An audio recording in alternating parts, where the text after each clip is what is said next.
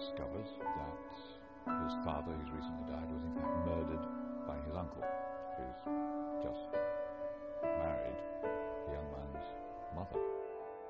I mean, there's a reason the play's still being done 400 years later and why it's the most performed play of all time. A young, very intelligent, intellectual man is suddenly hit across the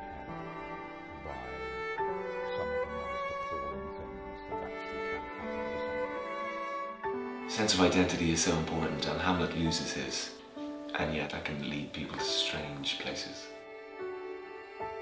He has a mission, and so from that point he then starts to drive towards this, this end game.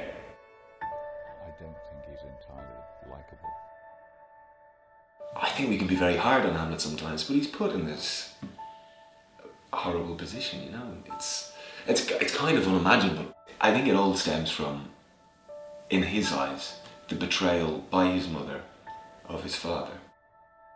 In a way, what's happened to him is that he has actually been very severely damaged by his experience. I think that's the tragedy of the play. It's so profound and it's so. It's just a wonderful play.